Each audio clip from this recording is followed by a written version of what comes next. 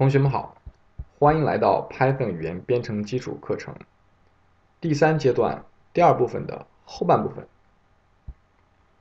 上节课我们给大家介绍了 tuple，也就是元组的特性，并且针对 tuple 和 list 的对比，给大家看了一些代码的实例。那么本节课呢，我们将继续介绍 tuple 的一些不同于 list 的一些特性，以及给大家做一个系统的总结。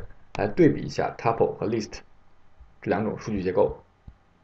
好，首先让我们来看一个例子。假设我们现在需要只创建一个 tuple，并且这个 tuple 里面只包含一个元素，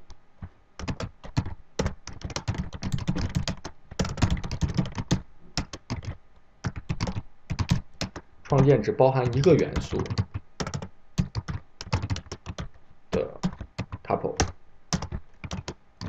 我假设叫它为 a tuple 与二。这时候呢，大家注意点，这是一个 tuple 特殊的用法。当我们创建一个只包含一个元素的 tuple 的时候，在这个元素之后，我们必须要加上逗号来消除歧义。因为同学们可以想象一下，如果我们没有这个逗号，那我们在这里到底是创建只是一个变量呢，还是一个 tuple？它并不清楚，这里存在歧义，所以我们必须要在二后面。加一个逗号来告诉 Python interpreter，我们创建的是一个 tuple。好，我们再看一个另外一个例子，我们能不能创建一个 tuple，但它里面的其中一个元素是一个 list，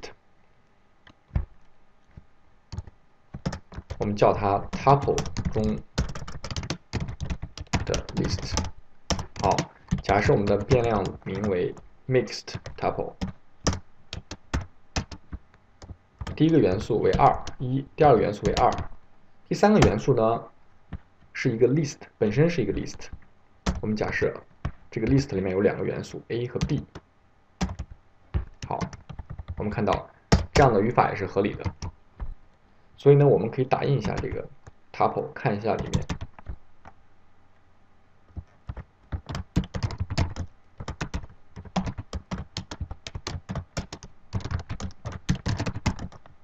注意，我们仍然需要把这个 tuple convert 成 string 的形式来进行 print。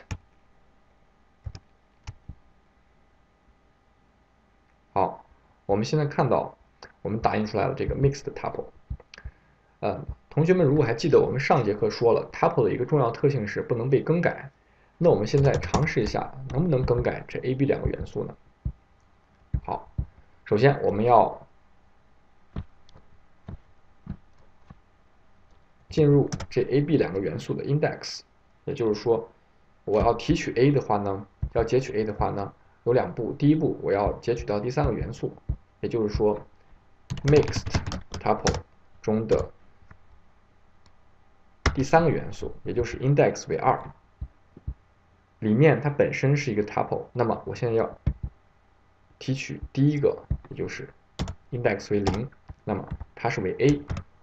我们假设把它更改为 c，同理，我们将 b，也就是 mix tuple 里面的第三个元素本身是一个 list，它里面的第二个元素，也就是 index 为一，它是 b，我们把它改为 d。好，我们现在尝试一下能不能打印出来更改之后的这个 tuple。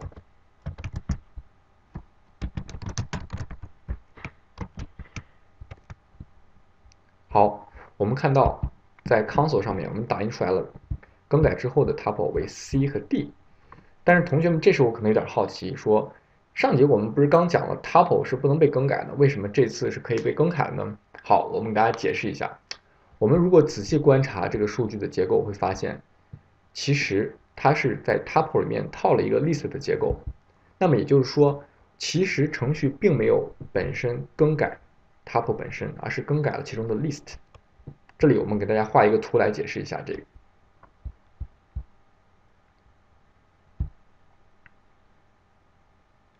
也就是说，首先我们创建了一个 tuple，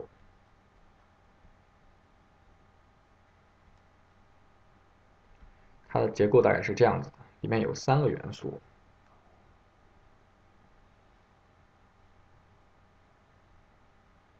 它的 index 分别为零、一、二。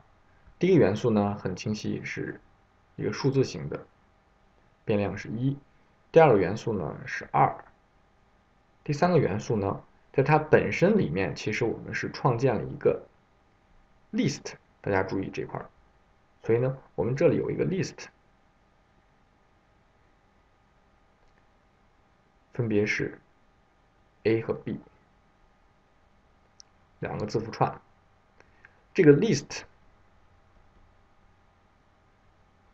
里面有它自己的 index 零和一。所以，当我们做更改的时候，大家发现，其实我们只是把这个 list 里面的 a 改成 c，b 改成 d，而对原先的 tuple 本身的结构并没有做出更改。这个部分。所以呢，其实这个例子只是提醒同学们，tuple 和 list 之间的关系，并没有违反我们本身说的 tuple 不可更改的特性。好的，接下来呢，我们就综上所述，我们所有举过的例子，给大家总结一下，tuple 和 list 系统方面有哪些区别，和在哪种情况下适合使用哪种数据结构。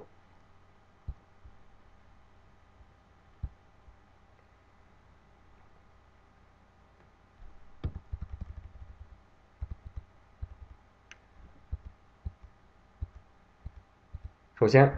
我们知道了，tuple 是一个不可变的 list，一旦创建了 tuple，就不能以任何方式改变它。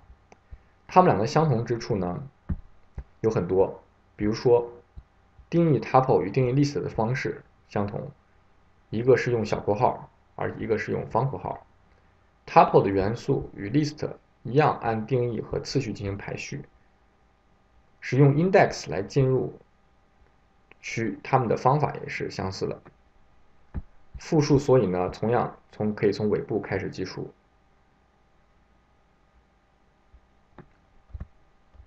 区别是，当我们做更新相关的操作时，有很多方法在 tuple 里面并不存在。比如说，第一，不能向 tuple 里面增加元素，而且在而在 list 里面，我们就可以使用 append 或者 extend 的方法来增加元素。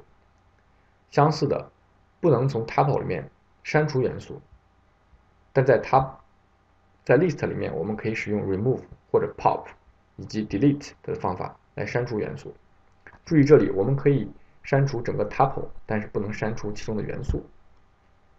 两个的共同点呢，是我们在 tuple 和 list 中都可以使用 in 的方法来查看某一个元素是否存在于 tuple 或者 list 之中。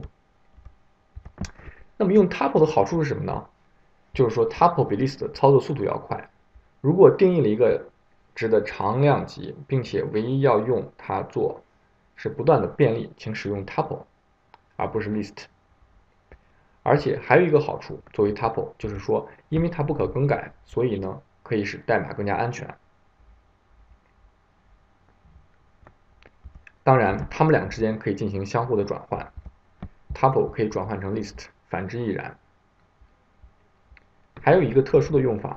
对于 tuple 来讲，就是一次赋多值。比如说下面这段代码，v 等于 a b c 一个三元素的 tuple。这时呢，如果我们要提取这样的值，我们在语法上可以直接写 x y z 等于 v。这时我们就把 a b c 三元素的值分别对应的提取从 a x y z 中。好，本节课呢就到这里。我们系统的给大家对比了 list 和 tuple。在下一节课中。我们将给大家介绍新的数据类型，dictionary。